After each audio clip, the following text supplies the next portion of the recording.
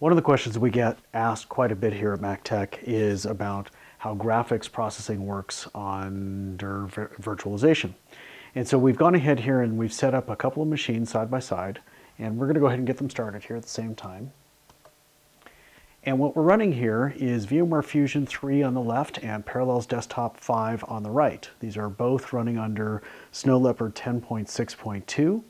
Both are on a MacBook Pro uh, both have their graphics uh, processor running at the best performance as opposed to the uh, better energy conservation.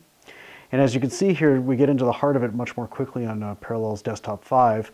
Um, and there's definitely a smoother feel to Parallels Desktop over VMware Fusion. Now, as we move into the next set of tests here, and this is all under 3D Mark, what you see here is a remnant of some lights, and the same objects are actually in these different places here as well under Parallels but it's not fully rendering the background in those uh, situations. And you'll see here as we move into this next scene, all this black area on the left under, under uh, VMware Fusion is uh, the not the, un, the unrendered background. So you just see the foreground, some bullets. Uh, actually, you don't even see the soldiers, just the guns. And uh, on the right-hand side, Parallels Desktop 5 is rendering everything and doing it at a higher frame rate overall. It's, it's much smoother uh, in here. Now the tests that we're running are under 3D Mark 06, which is uh, done by a company called FutureMark.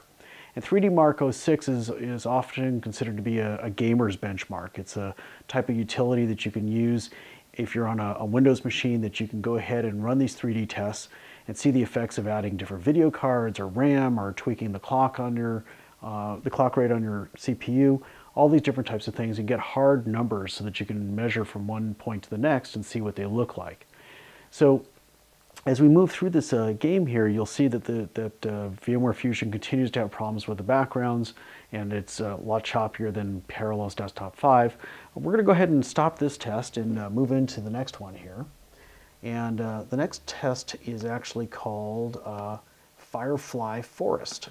And what's neat about Firefly Forest is that it's got lots of natural backgrounds to it, trees and bushes and some skyline in there. Um, it gives a, a, different set of textures and, and, whatnot that you see often in, in many games. And um, in Firefly Forest, there's these two colored fireflies that will be uh, flying around there, and you can see it there on the Parallels desktop side. Uh, VMware Fusion hasn't started it yet. Uh, there's a, a, little bit of choppiness here on Parallels. It's not at a, a frame rate that's as fast as you might see on TV and whatnot. Uh, VMware Fusion's definitely struggling on the frame rate. It's at a frame rate of zero or one. That's uh, frames per second. Now video in the US is at 30 frames per second to give you a, an idea in there. And even at 15 frames per second that you see often on video cameras, uh, on the inexpensive video cameras like on a cell phone and, and whatnot that are a little bit choppy, uh, they look pretty good, but there's still, there's definitely a choppiness to it. Uh, Parallels is doing quite well here with uh, Firefly Forest. Um, and on the left, VMware Fusion's having problems not only with the frame rate and the choppiness as you see, but even there in certain places the backgrounds are not fully rendered. You get all kinds of weird polygons all over the place uh, as you see some of the, uh, the shadows come out of the eye of that big stump there. And what's um, neat about this one is not only uh, the water and the mountains and whatnot, but also the texture and the colors of uh, of this dragon. Um, the colors are very vibrant on this dragon. That probably doesn't make a lot of difference on the graphics side, but the texture in it is, uh, combined with it, is very visually appealing.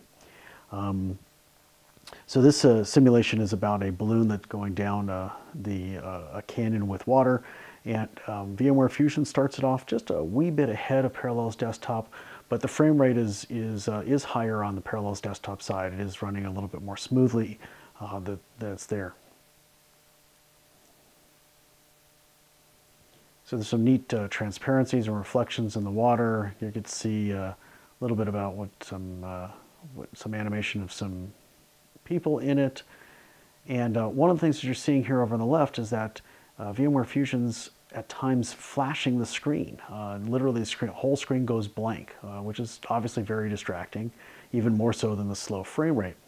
Now, the frame rate's uh, a little bit faster on, on the parallel side, but more important than that is that there's none of the flashing, everything's fully rendered, uh, and it works out really well. This time we're seeing uh, snowbanks, snow drifts, um, caterpillar type of equipment for moving around. Um, there's some really uh, interesting. You, know, you see the wind blowing and blowing the snow uh, across, and it looks really nice. Um, on the right hand side here on parallels, you can see how beautiful the white snow is. With there's some texture to it. Um, you see little bits, of, little wisps of, of and, and of a breeze of, of uh, snow going by. And on the left, um, problems with the reflections in the windows. Obviously, the snow is all black. Um, the objects are not rendering properly as far as their textures and backgrounds and, and whatnot. Um, some things are, are, proper. The sun is, is done right. The reflections from the sun are done right on VMware Fusion.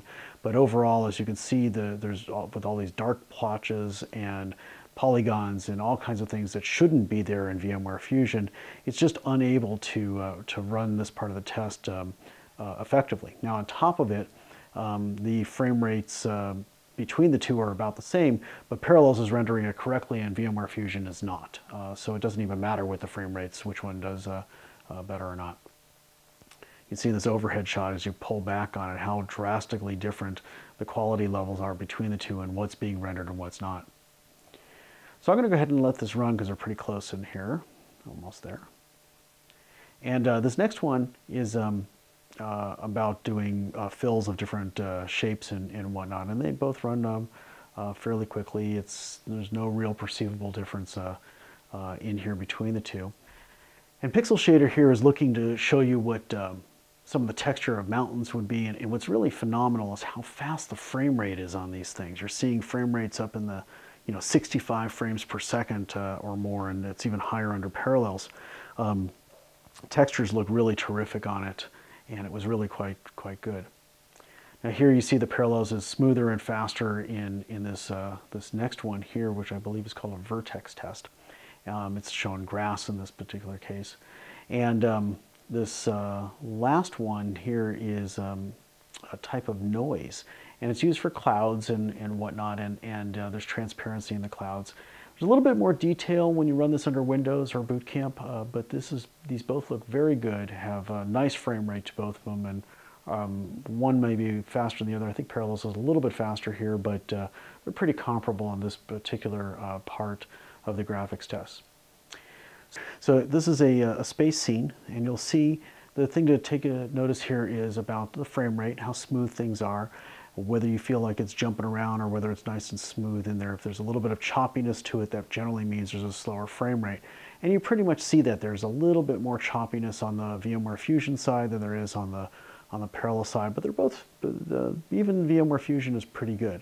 And we really see the choppiness there is on the, as that ship appears and as uh, some of these objects go by, they kind of jump and take big steps, whereas the parallels is much smoother uh, um, of, an, of an example and demo here. Now here you're inside this ship and you'll notice uh, a jump that's about to happen and you'll see the difference in the frame rate between the two. It's nice and smooth there and it's a little bit choppier there. And again, we go back to the rendering problems where the background's not fully rendered, uh, but the foregrounds uh, are. Uh, again, a lot choppier, polygon problems all over the place. It's just uh, kind of a mess under VMware Fusion. But under Parallels Desktop 5, it is quite respectable. Um, it definitely would be very playable um, and it was and is a, a, a, generally a good experience. Parallels has done a really good job here in beefing up how much better uh, their graphics support is and how much faster their graphics is since Parallels Desktop 4. And they've they've not only uh, gotten faster and more compatible than VMware Fusion 3, but they're a lot faster uh, overall. And it's really quite evident here as you watch these uh, the these simulations go on. So that's about it. Just thought you'd like to uh, see what these things are, are like uh, side by side on the equivalent machine. And uh, hope that's something that you enjoy. And I wish you luck in playing your games and, and uh, enjoy them.